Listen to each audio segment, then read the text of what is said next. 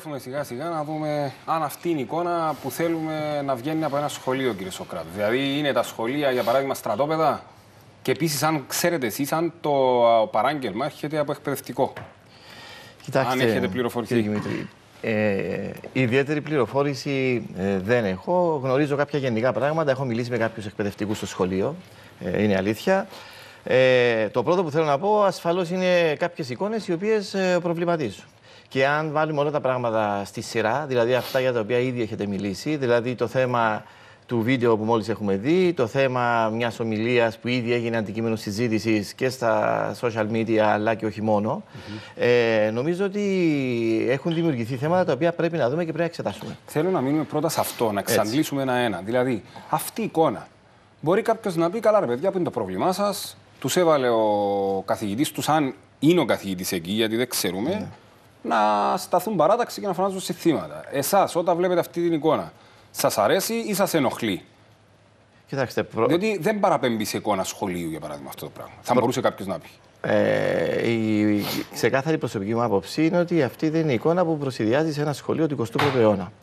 Ε, αυτό είναι μια ξεκάθαρη ε, προσωπική θέση ε, και ακριβώς ε, πρέπει να δούμε πώς διαχειριζόμαστε αυτά τα ζητήματα μέσα στο σχολείο πλέον. Τι γιατί... θα κάνει ο Έλμε και αυτό, Γιατί έχει αρχίσει ο κόσμος, ας πούμε, εγώ βρίσκω φίλους και ναι. μου λένε Πού ήταν ο Γιάννος όλες αυτές τις μέρες; Ναι. Να βγει να μιλήσει ναι, για αυτό το θέμα.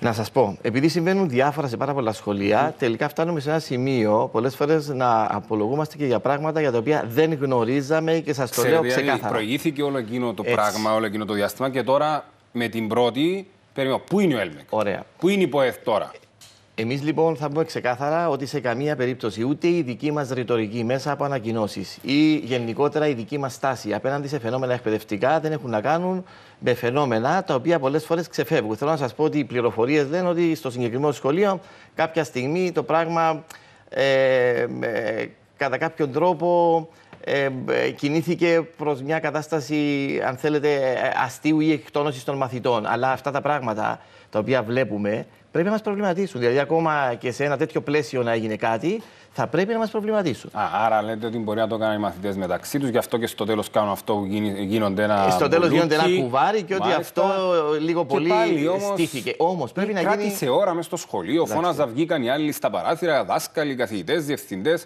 τι έγινε την επόμενη μέρα, τις επόμενες μέρες; Δηλαδή, πώς το αντιμετώπισε αυτό η διευθύνση του σχολείου ή τι πρέπει να κάνει; Κοιτάξτε. Και πρέπει να μάθουμε αν είχε και εμπλοκή κάποιος εκπαιδευτικός μέσα σε Ασφαλέστατα πρέπει να γίνει μια διερεύνηση.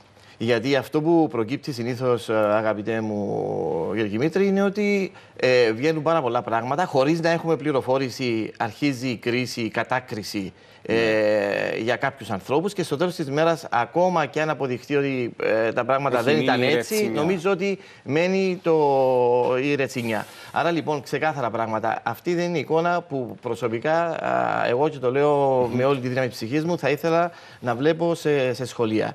Από εκεί και πέρα, το πώς ακριβώς ε, υπάρχει ένα γενικότερο θέμα που αφορά τις εθνικές επαιτίους. Το ακριβώς πώς αγγίζουμε και ποια είναι η θέση αυτών των εθνικών επαιτίων μέσα στα σχολεία. Το πώς γίνεται η διαχείριση αυτού που λέμε συλλογική μνήμη μέσα στο σχολείο. Το τι γίνεται να δούμε και στον υπόλοιπο κόσμο. Υπάρχει επίσης ένα άλλο μεγάλο θέμα που αφορά τις παρελάσεις. Ε, ξέρετε, και στην Ελλάδα πρόσφατα είχαμε ε, παρόμοια συζήτηση, αλλά είναι κάτι το οποίο θέλω να πω ότι αυτά τα ζητήματα είναι ζητήματα που πρέπει να τεθούν στο δημοσιοδιάλογο. Αυτό λέτε, δεν αρμόζει σαν εικόνα σε σχολείο του πρώτου αιώνα και να διερευνηθεί, να δούμε τι ακριβώς έγινε για να ξέρουμε μην καταδικάζουμε κάποιον που ενδεχομένως να πιφτεί. Κύριε Φυλαχτού, θέλω και τη δική σας άποψη. Κύριε Κιμήτρη, για μένα η, η απάντηση είναι πάρα πολύ απλή. Ο καθένας έξω στη γειτονιά του μπορεί να κάνει ό,τι θέλει. Μέσα στο σχολείο όμως, εμείς οι εκπαιδευτικοί δεν εφαρμόζουμε τις πολιτικές που εμείς θέλουμε. Εφαρμόζουμε το αναλυτικό πρόγραμμα ότι προνοείται από το Υπουργείο Παιδείας στους κανονισμούς και στο αναλυτικό. Αλλά το σχολείο δεν είναι γειτονιά, δεν είναι το σπίτι σου. Αυτό είναι ξεκάθαρο. Και πρέπει να εκπέμπει μια άλλη εικόνα. Ε, και λέτε, αν αυτός, είτε, είτε εγώ πάω και κάνω μια ομιλία, γιατί αναφέρεται και, και αυτό το θα θέμα. Θα τα δούμε μετά. Ε. Θέλω ναι, πρώτα να Αλλά θέλω να σας πω ότι εκείνο που πρέπει να καταλάβει ο κόσμος σήμερα είναι ότι ο εκπαιδευτικός στο σχολείο είναι ελεύθερος να κινηθεί μέσα στο πλαίσιο που του ορίζει που, ο, ο, οι όροι εργασίας του. Και στην ιστορία, για παράδειγμα, αν θέλω να διδάξω κάτι, δεν θα διδάξω πέρα από την ύλη που πρέπει να διδάξω. Ε, και η κριτική σκέψη και όλα έχουν ένα πλαίσιο μέσα στο οποίο πρέπει να κινηθώ. Άρα αυτές οι εικόνες που παρακολουθούμε και πραγματικά δεν γνωρίζουμε ε, αν έγινε το πρωί, το απόγευμα, ποιος φωνάζει, ποιοι είναι εκεί. Γι' αυτό πρέπει να γίνει διερεύνηση. Πρέπει να γίνει σε ώρα του σχολείου, γιατί σε ώρα του σχολείου κάτι φαίνεται. πάνω στα μπαλκόνια, ναι, καταλάβετε, δεν είναι Εν μόνο πάση τα παιδιά περιπτώσει, που σε τέτοια πράγματα πρέπει να διερευνώνται ανεξάρτητα από το τι λέγεται, τι συνθήματα φωνάζουν, γιατί εγώ θεωρώ ότι αυτά τα πράγματα είναι εκτός του πλαισίου διδασκαλίας μέσα στα σχολεία. Ωραία. Μια φίλη θέλει να κάνει την παρέμβασή της, η κυρία Λουκία, πάμε να την ακούσουμε. Κυρία Λουκία, καλό σας μεσημέρι. Ε, γεια σας, να είστε καλά. Ε, Ακριβώς ήθελα να σχολιάσω το θέμα με τους μαθητές που ίσως να ήταν αγέννητοι όταν έγινε το γεγονός με τον Τάσον και τον Σολομού. Και διερωτούμε πραγματικά με ποια συνείδηση ανοίξαν εκείνο το οδόφραγμα το οποίο σκοτωθήκα πιο αλλικά δικά μας. Εντάξει, είναι ένα άλλο θέμα αυτό και το έχουμε συζητήσει το άνοιγμα του φράγματο τη Ζερίνια σε άλλες κουβέντες μας εδώ στην ναι, εκπομπή, ναι, κυρία ναι, Λουκία. Σας ευχαριστούμε πάρα πολύ. Γιώργο, κάτι θες να πεις; Κύριε Σοκράτου, δεν πρέπει να βάλουμε στην εξίσωση για τον μαθητικό συνδικαλισμό. Γιατί εντάξει, ξέρουμε ότι αυτοί οι μαθητές λογικά πρόσκειται σε ένα πολιτικό κόμμα το οποίο είναι πλέον στη Βουλή. Αλλά είναι και τα υπόλοιπα κόμματα μέσα. Και ξέρουμε ότι πολλές φορές γίνονται και επεισόδια και αντεκλήσει στο σχολείο ε, λόγω του ότι υπάρχουν μαθητικές ε, παρατάξεις, για παράδειγμα. Κοιτάξτε, δεν ε, θέλω να πάω και να κομματικοποιήσω αυτή τη στιγμή το συγκεκριμένο θέμα. Γιατί αντιλαμβάνεστε, εκεί ήταν, βλέπετε, γύρω στους ε, 50, 40, 50 μαθητές που αποκλείεται να ανήκουν σε ένα συγκεκριμένο χώρο. Αυτό είναι το σίγουρο.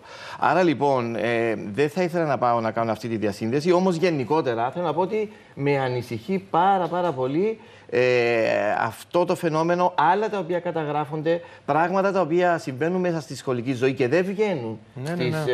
ε, τηλεοράσεις. Υπάρχουν περιστατικά που τσακώνουν ε, μαθητές πριν. Το ε, θέμα των πανηγυρικών, των λεγόμενων πανηγυρικών, το οποίο θα το δούμε στη συνέχεια, όπως έχει πει ο κύριος Κιμήτρη, και το περιεχόμενο τους, κύριε Κιμήτρη.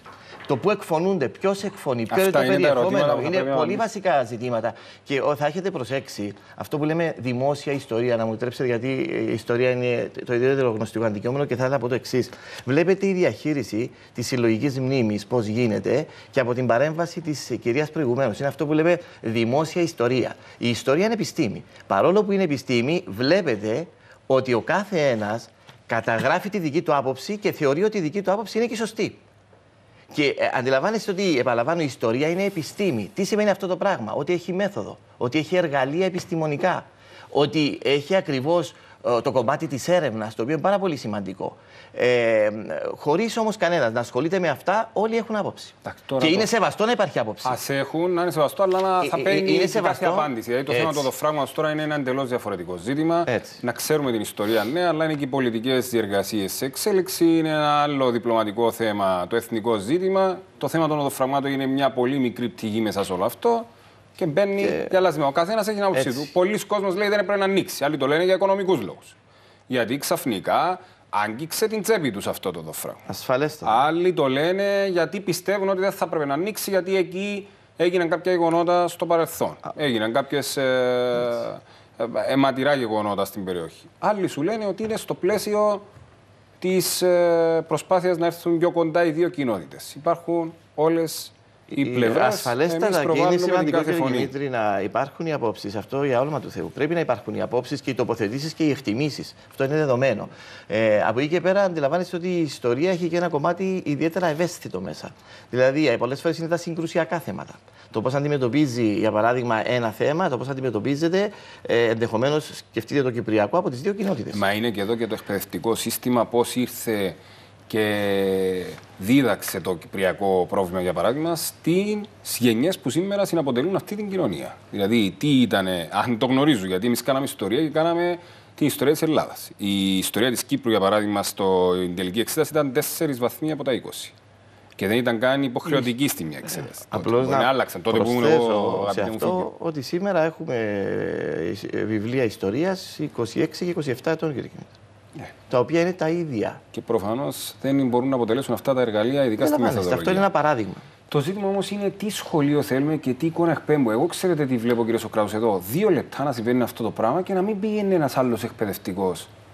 Να τους λέει, παιδιά, σταματήστε, ελάτε, Κάντε έναν κύκλο να κάτσουμε όλοι εδώ να μιλήσουμε και να σας πω γιατί δεν πρέπει να κάνουμε αυτό το πράγμα μέσα στο σχολείο. Δεν είναι η γειτονιά μας. Αυτό που ο κ. Εξαρτάται ποιος είναι ο επικεφαλής όμως εκείνη τη στιγμή. Και ποιο εκπαιδευτικός θα πάει να συγκρουστεί με τον επικεφαλής. Ε, Γιώργο, δεν είναι θέμα σύγκρουσης. Είσαι εκπαιδευτικός σε ένα σχολείο, βλέπεις μια εικόνα που δεν σας αρέσει. Ο, δηλαδή πλέον μπαίνει μέσα και το άτομο. Φυσικά ο κ. Φυλαχτού λέει ότι δεν θα πρέπει να μπαίνει, ακολουθούμε κανόνες μέσα στο σχόλιο. Ναι. Αλλά δεν είδαμε ούτε αυτό. Δηλαδή ένας δάσκαλος να πάει εκεί και να τους πει: Παιδιά, σταματήστε και ελάτε, γιατί δεν είναι εικόνα αυτή που βγάζει το σχολείο μας. Και... Θεωρώ ότι αυτό όμως είναι ένα ευρύτερο θέμα, αγαπητέ κ. Δημήτρη. Γιατί τώρα μην συζητούμε με αφορμή συγκεκριμένο σχολείο, αλλά αυτά τα θέματα θα έπρεπε να είναι πλαισιωμένα και να αφορούν όλα τα σχολεία Συμφωνώ, αλλά θέλω εδώ και το ρόλο του, του, του δασκάλου, ρε παιδί μου, του, του εκπαιδευτικού ως ξεχωριστή οντότητα μες στο σχολείο. Δηλαδή, αν ήσουν στο σχολείο, ναι. θα το δεχόσασταν αυτό το πράγμα να συμβαίνει και να μην πηγαίνατε εκεί την ώρα να κάνετε κάτι; Με ευγενικό τρόπο, μη τρόπο. Παιδιά, ελάτε, κάτσε εδώ, να πάρεις και το συνάδελφο. Συνάδελφο, έλα κοντά να μιλήσουμε, να δούμε τι να κάνουμε. Αν εμπλέκεται εσύ ε, εκπαιδευτικός σε αυτό το θέμα. Ε, παραλαμβάνω ότι είναι ασφαλέστατα θέμα έρευνας πρώτο και δεύτερον την προσωπική μου άποψη την έχω πει. Ναι. Ασφαλέστατα ε, διαφωνώ με αυτό το πράγμα και παραλαμβάνω ότι τα σχολεία δεν πρέπει να είναι ούτε φυλακές ούτε στρατόπεδα. Και ακόμα, ακόμα και αυτό το. Α υποθέσουμε ότι δεν είναι και καθηγητής που δίνει το πρόσταγμα εκεί, είναι ένας μαθητής. Εγώ θα έλεγα ότι και πάλι, όπως το είπατε εσείς, δηλαδή με έναν τρόπο ευγενικό, μπορεί να αποτελέσει Γιάννο και αφόρμηση για να συζητήσεις με αυτά τα παιδιά κάποια πράγματα. Για, διότι αναφέρονται και σε γεγονότα. Δηλαδή, απλώς δεν, δεν πρέπει να επικροτούνται και δεν επικροτούνται αλλήμον τέτοιε συμπεριφορές. Επαναλαμβάνω όμως, επειδή το αναφέρατε και προηγουμένως, Πού είναι η ΠΟΕΤ, πού είναι η ΟΕΛΜΕ. Εντάξει, εμείς. είπα ναι, ναι, και καλά. Το ερώτημα που ναι, ναι. το βλέπω να Εμεί δεν, δεν χαράσουμε πολιτική. Την πολιτική τη χαράσει η κυβέρνηση, το Υπουργείο Παιδείας. Άρα το Υπουργείο Παιδείας σε αυτά τα θέματα και να τα διερευνήσει και έχει και την ευθύνη για να ελέγξει κατά πόσο αυτά τα οποία σχεδιάζει, αυτά αποτελούν αντικείμενο μέσα στις σχολικές μονάδες. Ναι. Πάμε να ακούσουμε και την κυρία Αντρούλα και πάμε στο επόμενο μας θέμα που είναι η ομιλία της δασκάλα στην Αθιένου. Κυρία Αντρούλα, καλό σας μεσημέρι. Ναι, καλό μεσημέρι. Σας ακούμε. Ε, είναι καταδικαστέα αυτά που συμβαίνουν και εγώ θα ήθελα απλώς να, να στιγματίσω το γεγονός ότι ε, να το βάλω μόνο σαν κοινωνικό θέμα, να μην το πολιτικοποιήσω. Ε, σαν κοινωνικό θέμα σημαίνει ότι δεν κάνουμε σωστά το θέμα της ρητορικής μίσου του μίσους. Είμαστε μια δικοινοτική, ε, ένα νησί δικοινοτικό, μια δημοκυπριακή δημοκρατία δικοινοτικού χαρακτήρα. Πρώτη στο θέμα, την παιδεία, την οικογένεια, είναι η καταπολέμηση της ρητορικής μίσους. Και για αυτό το θέμα και για το επόμενο που θα μιλήσετε για τη δασκάλα, επιμένω ότι μέσα από την εκπαίδευση πρέπει να δουλέψουμε για τη ρητορική μίσους αν θέλουμε να είμαστε πολίτες μιας Ευρωπαϊκής Ένωσης. Να είστε καλά, κύριε Αντρούλα. Πάμε και στον κύριο Κυριάκο. Καλό σας μεσημέρι. Χαίρετε. Σας ακούμε. Ήθελα να ρωτήσω, είχα μια απορία στις 28 Σεπτεμβρίου, Παρασκευή, όταν θα σχολάνε, ε, θα σχολάνε, θα είχαν αναφέρει στα παιδιά, ειδικά στα γυμνάσια, ότι τη Δευτέρα είναι αργία. Τους είπαν γιατί είναι αργία. Ποιος είπε, σε ποιο σχόλιο, ποια εγκύκλιο, τι εξήγησα στα παιδιά. Τη Δευτέρα δεν θα έρθει σχόλιο, είναι αργία. Τίποτα δεν τους είχε πει κανένας. Να είστε καλά, κύριε Κυριάκο. Ε, μα λίμωνο, αφού γίνεται, υπάρχει ολόκληρη ύλη, ολόκληρη θεματολογία. Εγώ να πάρω παράδειγμα των δημοτικών, τα παιδιά θα έρθουν στο σπίτι, με, ιδιαίτε, με ειδικά κείμενα που κάνουν, με τις σημεούλες τους που ε, οπωσδήποτε γίνεται. Στην δε μέση εκπαίδευση υπάρχουν, ε, υπάρχει μέσα στους κανονισμούς λειτουργίας των σχολείων, κύριε Δημήτρη, συγκεκριμένη αναφορά και είναι μια από τις εορτές που πρέπει να αφιερώνεται μέχρι δύο περίοδοι. Είδατε ότι τον κόσμο αμέσως αυτές οι εικόνες των. Ξέρεις, θέλει κάτι για να σηκώσει το τηλέφωνο και να πάρει να ναι. μιλήσει ναι. του Φίγιου ή του Γιάννου. Ακούστε. Ενόχλησαν αυτές οι εικόνες σημαίνει τους φίλους που μας τηλεφωνούν. Κάτι που θέλω να πω σε σχέση με την παρέμβαση του αγαπητού συμπολίτη μας είναι ότι όντως πολλές φορές ρωτάς τους ναι. μαθητές τι γιορτάζουμε σήμερα; Και σου λένε πραγματικά. Είναι και το σπίτι, δεν είναι μόνο το σχολείο. Πραγματικά να μην αναφέρω ποιες είναι οι απαντήσεις. Ναι. Και λέει μετά ο άλλος, καλά, δεν κάνετε ιστορία στο σχολείο. Βεβαίως κάνουν ιστορία. Αλλά το θέμα ακριβώς υπό ποιες συνθήκες γίνεται το μάθημα, πάλι πάμε στα θέματα του τεράστιου όγκου που δεν προλαβαίνουμε. Η ιστορία είναι το ίδιο το γνωστικό μα αντικείμενο και είναι ο τρόπο διδασκαλία. Η διδακτική μεθοδολογία. Που γίνεται Έτσι. για αποστήθηση και να τα μάθει απ' έξω, ή σου ζητάνε ημερομηνίε και χρονολογίε και ονόματα που δεν είναι αυτό το νόημα. Πολλέ φορέ γίνεται μια διερεύνηση από δημοσιογράφου, πάνε και ρωτούν 15χρονα παιδιά τι τιμούμε στι 28 του Οκτώβρη, 25 του Μάρτη και μπορεί να σου πει την τουρκική εισβολή. Και λε καλά, μόνο και μόνο από τι γιορτέ, τι σχολικέ εκδηλώσει 6 και 3 ή 9 χρόνια που τις παρακολουθούν. Είναι, είναι ερωτήματα που μας προβληματίζουν Ωραία. και μας απασχολούν. Επειδή η κυρία Αντρούλα έβαλε ένα θέμα, το θέμα ναι. της ρητορικής μίσους ή τέλος ναι, πάντων ναι. της δημόσιας ρητορικής και των εκπαιδευτικών, Πάμε να δούμε δύο-τρία σημεία από την ομιλία μιας εκπαιδευτικού που έγινε στην Αθήνα με αφορμή την επέτειο της 28η Οκτωβρίου. Λοιπόν, και έχουμε και ένα φίλο που θέλει να κάνει την παρέμβασή του, είναι ο κύριος Παντελής. Να τον ακούσουμε και αυτό και να δούμε τα αποσπάσματα από την ομιλία. Κύριε Παντελή, καλό σας μεσημέρι. Καλό μεσημέρι. Σας ακούμε. Θα κάνω πολιτική παρέμβαση και να πω το εξής. Στην Κύπρο έχουμε την ελληνική παιδεία. Ναι, κύριε Παντελή, συνεχίστε. Η ελληνική παιδεία έχει μερικά παγκόσμια ιδανικά, τα οποία είναι αποδεκτά από όλη την ανθρωπότητα. Ήτι το πνεύμα των Ολυμπιακών Αγώνων, η οποία Λοιπόν, το χάσαμε τον κύριο Παντελή.